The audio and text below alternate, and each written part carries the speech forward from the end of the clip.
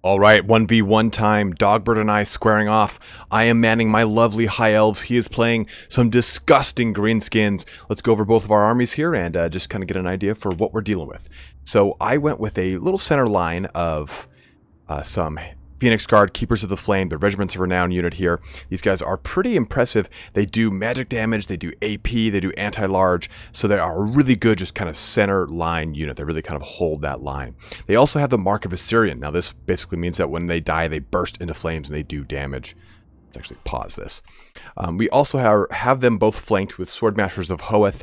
Now, Swordmasters of Hoeth here are a pretty good choice because they are AP, they are anti-infantry, so they're going to mulch up a lot of the greenskins, you know, tried and true fighting force, which is their infantry. So the Swordmasters of Hoeth bring a lot of terror um, not quite literal terror, but a lot of terror to the opponent and the ability to just kind of eat through things. They do have deflect shots, so the good thing about deflect shots here as well is that they does it does give them some range defense, uh, fighting off against any of the uh, goblin firing line with the rusty arrows and some other night goblin archers. So it does allow you to kind of really defend against that. Now both units are flanked again with two more additional units of spearmen here, uh, just a really good, just all around standard fighting unit. Can't go wrong with any spearmen, any high elf army. Uh, that make the backbone backbone up of both the Total War and the tabletop equivalents. Now, as far as archery goes, or, or range attacks go, we have two units of High Elf Archers, and then one unit of Sisters of Avelorn. Now, I love the Sisters of Avelorn. The they are the only AP range damage that you can have in the army outside of the Eagle Claw Bolt Thrower, and they are extremely reliable. They have really good range at a whopping 180. They do magic damage, they do fire damage, so they have a lot going for them. Now, the biggest thing, though, on top of all this, is that they are decent melee combatants. What does that really mean? Okay, so let's take a look at the melee attack of 38 and melee defense of 50 of the Sisters of Avelorn, just going off those numbers strictly alone. Now, if we were to look at the uh, High Elf Archers, they have a melee attack of 18 and melee defense of 26, so almost half of both. And by comparison, the spearmen have melee attack of 22 and melee defense of 50. So really, you're taking like the Sisters of Avelorn, who have the same exact melee defense of spearmen with actually even better offensive capabilities than the spearmen. So uh, they really do have a lot of things going for them, and I, really do love the Sisters of Avelorn, especially the fact that they shoot beaming las cannons downrange. Now, on top of that, we have a high mage. I went with a high mage. I really like the high mage when it comes to the high elves. You get a lot of uh, really good kit access in here. They do the ward, they increase a ward save. They have some healing. They have some other great abilities. So I went fire convocation, fiery convocation, and apotheosis. We also have our lovely uh, prince on a star dragon. Now we do have some skirmisher units in uh, the Ellyrian Reaver archers that are just kind of out over here, ready to do some initial damage. Now Let's take a look at Dogbert's army here. He has got quite a few orc biguns. In addition, he's got a lovely little contingent of night goblins. So he has a nice little uh, army here. If you take a look, the Orc Biguns are a great choice against High Elves because when you take High Elves, you typically expect a lot of monstrous creatures or a lot of cavalry. Orc Biguns are anti-large, so you do have that capability here, as you can see. That bonus versus large does allow them to really bring a lot of damage to the fore. And on top of that, they do a lot of damage in and of themselves, so they can hit up and destroy a lot of just the, the usual uh, spearmen infantry of the High Elves. In addition, he did go with some Black Orcs. Now, Black Orcs are a really good option here as well because they are armored. They do deliver AP damage, so they can deal with a lot of the more elite high elf infantry. But the biggest thing with them is that they are pretty stalwart and hard to uh, really supplant when you are feeling attacking at them or when you're dealing with them as high elves because you only have sisters of Avelorn that can deal with them from ranged and you have to get something that is ap in their face to deal with them in melee combat. So there are, there aren't as many options in the high elf roster. Now Obviously, we want some squig herds here, which is going to be a really good backline harassing unit. Anytime you deal with high elves, you do want to shut down that backline as soon as possible.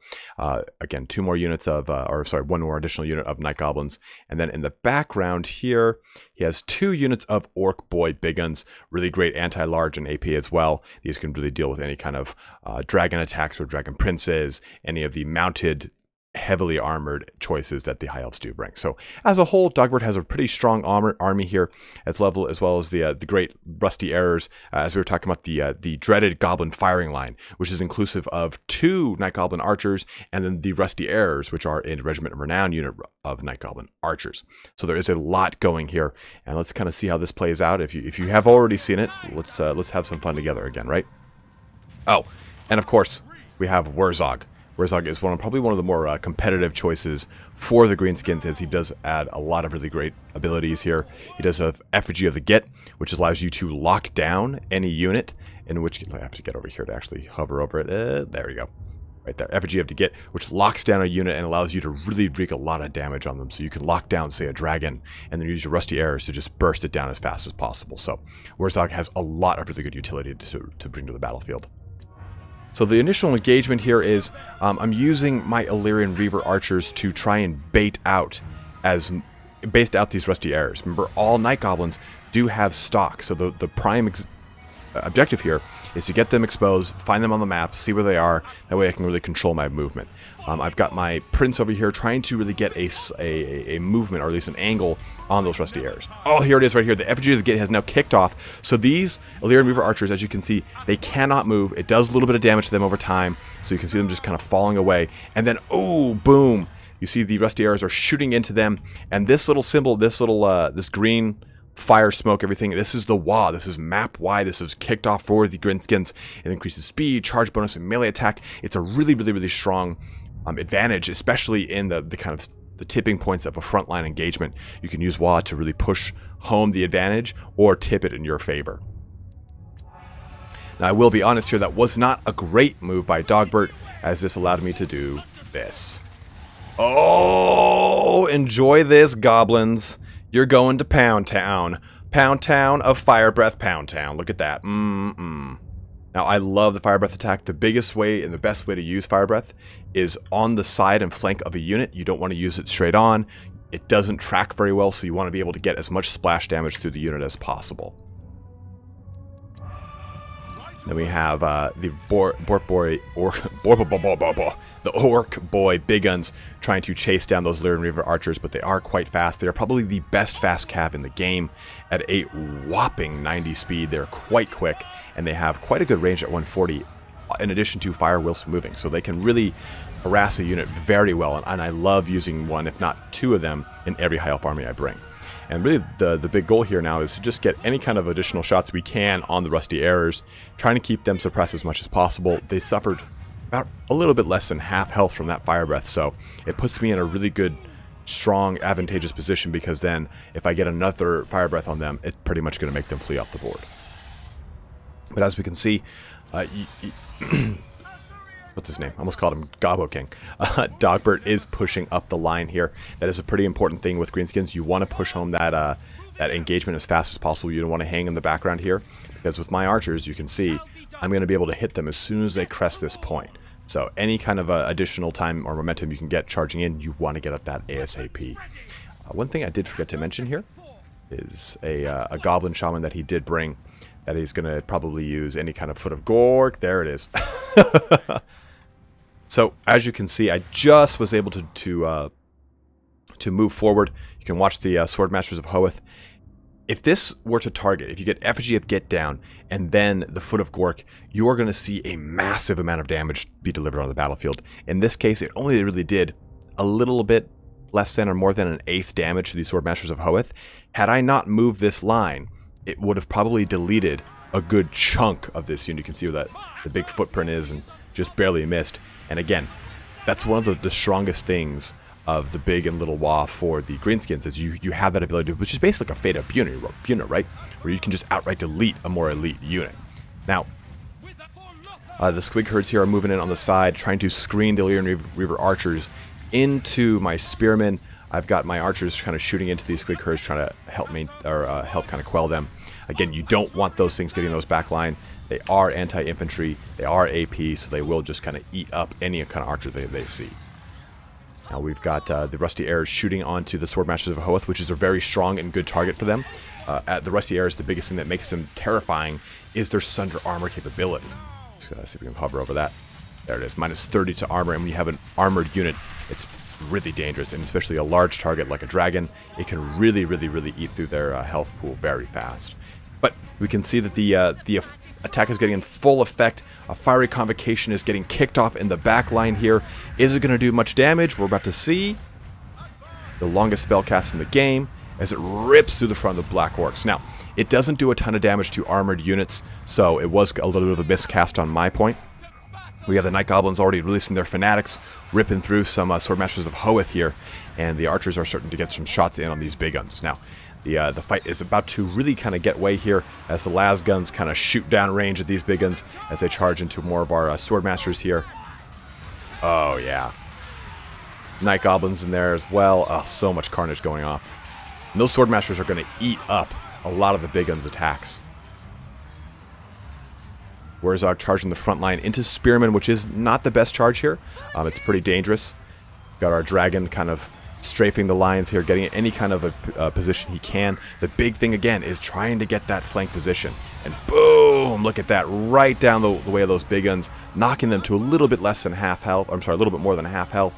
And again, there, that's going to help tip the balance for them because the Spearmen trade into biguns uh, decently well. They will lose the fight, but this kind of helps put them into a better position. You got the dragon charging in on this goblin shaman, knocking it out almost immediately. We've got our Phoenix Guard trying to hold the line against these Black Orcs. We're one of the only units, aside from our Swordmasters, that's going to be able to do a significant amount of damage. We've got a Fiery Convocation ripping through the front line here too. The biguns are not as armored as their Black Orc counterparts, so that is okay. That's an okay kind of attack to get off. It does a considerable amount of damage, as you can see. Both these units are now at, or if not under 50% health. They're starting to flee off the table here, and it frees up those sword masters to get into a better position to flank or help out with our uh, Phoenix Guard. Now, the big thing here is our Orc Boy Biguns that are on this side and this side. They can pose a pretty serious threat to both our Prince as well as this big gap that I that I really should not have left open. I kind of got a little cocky and charged my Phoenix Guard out, leaving this huge gap here and leaving my Sisters of Avelorn as well as my mage very, very, very well exposed, and that's not good. But we do have our uh, dragon trying to help kind of diverge that uh, that charge a little bit. Again, those biguns, they can do a bit damage to a prince, so it's not the best kind of engagement to have him in. Orc Boy Biguns trying to get any kind of a threading of the needle. Wurrzag in very low condition up there. Moving our Spearmen here to try and catch those uh, Orc Boy Biguns out. And we're moving our, our lovely prince onto Wurrzag here, trying to crush that leadership. That's the biggest thing when it comes to any kind of uh, uh, greenskins you're dealing with, or even Skaven, is to knock out that leadership as fast as possible. The Orc Boy Biguns come around over there. Got another unit trying to thread the thread the needle through the center. We're, we're surrounded on all sides by cavalry here. Marching into the, the High Mage, which is not overall a bad move, I gotta say. We've got the Orc Boy is going to smash into our Sisters of Avelorn. Setting them flying. God, I love cap charges in this game. Now, using the Orc Boy Bigun on the, the High Mage is, again, not a bad move because they do AP and anti-large damage, so they'll be able to knock her out of the game a little bit quicker than, say, some of the other units. And catching her out in the open like that, that's it's kind of like a two for one, right? Let's kind of keep this going here. So we have our Sisters of Avelorn engaged. But we do have a lovely dragon ready to roast some boars, ready for the bacon cook-off. Oh man, just made this a huge pile of, of orc deathdom right there. But these ones are fleeing off the table. We have our spearmen kind of holding the line over here. Swordmasters of Hoeth in pretty good health. Dragon coming to aid them. Left flank, uh, not in as good a shape as the right flank, dealing with black orcs that are heavily armored. But we do have our uh, Phoenix Guard, which are mulching through these black orcs in a slow, kind of steady, timely manner. manner. School of Legion kicking off here as we knock out the Night Goblin Shaman. It's just a matter of really just crushing that leadership utterly so we can kind of clinch the win here. Uh, the majority of Dogbert's forces, oh, as you can see, that, that guy just burst into flames. Dogbert's forces are in disarray. They have pretty much fled or are now kind of rallying from the fleeing. But I think uh, it's kind of a foregone conclusion at this point, as the win belongs to me, the mighty Italian Spartacus. Uh, for those of you that didn't really catch this, this was again part of the Everchosen Summer Invitational. Uh, this was the end of day one. Uh, Dogbert and I, uh, we had been kind of doing a, a, fun banter throughout the entire day, and he he said, "I got a surprise for you." And right at the end, it was a it was a grudge match between myself and the, the mighty Mr. Dog, CA's mighty Mr. Dogbert. Now, uh, as you can see here, those biguns, they still do a considerable amount of damage. 80 kills is primarily against spearmen units, but it does do a lot. And you have 123 kills against from those black orcs dished out against both spearmen and swordmasters of Hoeth. This was the uh, swordmasters of Hoeth on our opposite flank from the from the strong one that is, and you can see they're almost dead. These guys are almost dead. These guys are almost dead. So those the biguns and the black orcs were very strong. What Dogbert should have done, or, or probably what it could have done, was was really skip out on these two night goblins fanatics. Uh, while they're really kind of cool thematically, if he had taken two Night Goblin archers, he probably wouldn't able to, would have, he would have been able to pressure my prince a lot more and kept him out of the fight a lot more, or at least unable to get as many kills as he did. He got 83 kills just roasting Night Goblins, roasting some biguns, and roasting uh, some Orc Boy biguns as well. Um, as you can see too, the Orc Boy biguns would have been better served sweeping around wide and maybe even threading the needle through the large gap that I put. Dogbert did thread that towards the end, but doing it maybe towards the uh, mid fight would have been really well served because it would have shut down a lot of the range damage I was able to do. I mean, if we take a look at our ranged, we have, excuse me, almost 150 kills between the three of them 39, 43, and 62. So they were able to really kind of stay online the entire fight and do a considerable amount of damage. But overall, an amazing match, and I hope you guys got a chance to catch the summer, the uh, the Everchosen Summer Invitational. It is up on there on Total War's official Twitch if you want to go rewatch it. I know Janet, myself, in turn are recasting some of the uh, battles, such as this one here.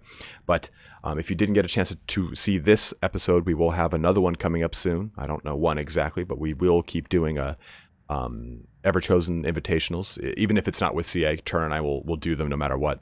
So I hope you guys enjoyed this. Thanks so much for watching here today. We got plenty of goodies coming out the rest of this week. But Have a good one and take care.